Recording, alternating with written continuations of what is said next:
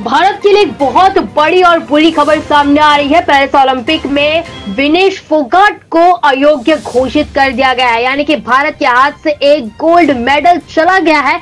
Wrestler Vinesh Phogat Paris Olympic से बाहर हो चुकी है और वजह यह है कि वज़न उनकी कैटेगरी 50 किलो से सिर्फ़ 100 ग्राम ज़्यादा मिला और इस वजह से उन्हें अयोग्य घोषित कर दिया है। आपको बता दें, भारतीय रेसलर विनेश फोगाट को तय कैटेगरी में ज़्यादा वज़न होने की वजह से पेरिस ओलंपिक से बाहर होना पड़ा।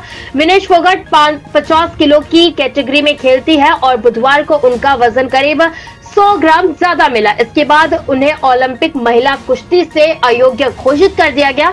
भारतीय ओलंपिक संघ ने विनेश के अयोग्य घोषित करने की पुष्टि कर दी है और इसके बाद विनेश फोगाट बुधवार रात होने वाला 50 किलो कैटेगरी का कि विमेन्स रेसलिंग फाइनल नहीं खेल सकेंगी। उन्हें ओलंपिक में कोई भी मेडल नहीं मिलेगा। ये भारत के लिए बहुत बुरी खबर सामने आ रही है, जहाँ देखा गया था कि विनेश फोगाट ने एक अच्छा प्रदर्शन दिखाया था, जिसके बाद सभी की उम्मीदें बढ़ गई थी, लेकिन इस खबर से हर जगह हर जगह सब दुखी हो चुके हैं।